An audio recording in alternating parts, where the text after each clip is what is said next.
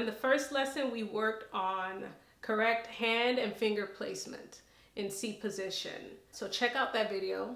You know, there's some important techniques to practice to make playing piano easier. Today we're going to continue working in C position, adding rhythm. We're going to talk about three basic rhythms, the quarter note, eighth note, and 16th note. In music, we count the numbers one, two, three, four to match the beat and follow along. Each beat, two, three, four, gets a quarter note, two, three, four, one, two, three, four. The eighth note and 16th note divide the quarter. The eighth note divides the quarter into two smaller notes, one and two and three and four and and the 16th note divides the quarter into four even smaller notes. One E and a two E and a three E and a four E and a. Now you can use a metronome to help you keep a steady beat. Each click is a quarter note. Quarter, quarter, quarter. One, two, three, four, right? One and two and three and four and one E and a two E and a three E and a four E and a. Tap your foot to keep the beat. Four. This is another way to look at it. The big letters are the quarter, quarter, three, four, eight, one and two and three and four, 16th, one E and a two E and a three E and a four E and a. Make sure to count. Tap that foot to keep the steady beat. All right, so in C position, right hand thumb is finger number one, exactly, and that is on middle C. Left hand pinky on the C below middle C, and that's finger number five. All right, remember to keep your fingers curved, hands relaxed, and then you play. We're gonna practice playing each rhythm with your right hand thumb, starting with the quarter, that's big letters. Follow along with the metronome. Play. One, two, three, four. Again, one, we're gonna do the eighth. Go. One and two and three and four and again and two and three and four and let's try the 16th note. One E and a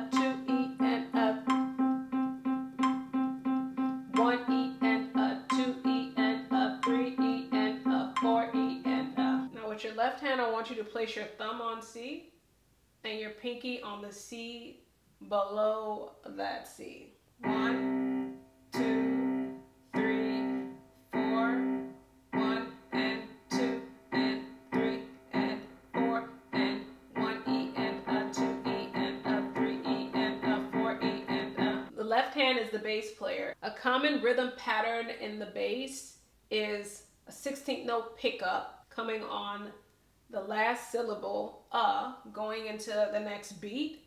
One E and a, two E and a, three E and a, four E and a. The cool thing is you can write your own songs using different rhythm patterns. The letters written here are not chord symbols. They tell you which letters to play and on which beat in the left hand. Letter C on beat one, and that same C on the uh of beat one. And then you play C again on beat two, nothing else in that beat. B on three, and B again on the uh of three, and then B on four. A on beat one, and A again on beat two, and G is held for two beats, three and four. We're gonna play it first as single notes and then we'll bring in the octaves. You're just gonna use your thumb to play each note. Curved fingers relaxed. One E and a, two E and a, three E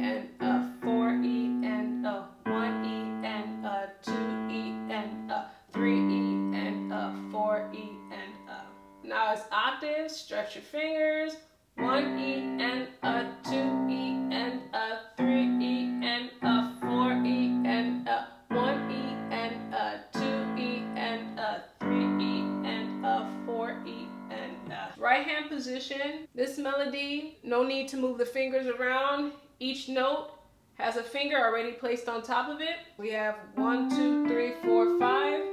Right hand melody, you're gonna start with fingers three and five. You're gonna play together.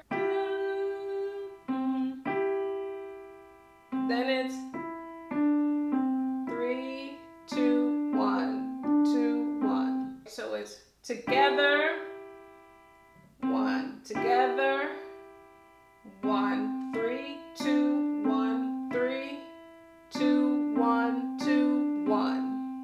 That simple. So if we were to put it together, it sounds like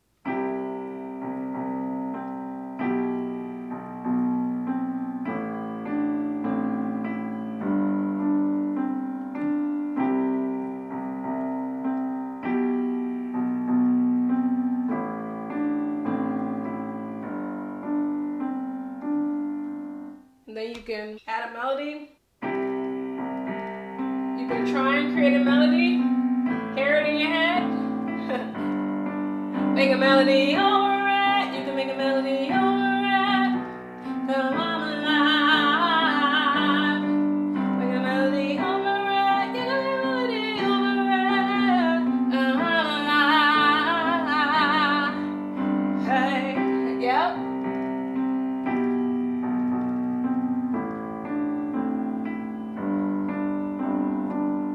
Start off slow.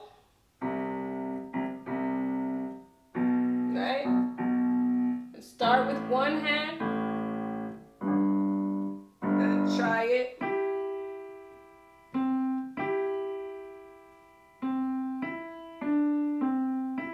Right? Before you bring it together, slow it down.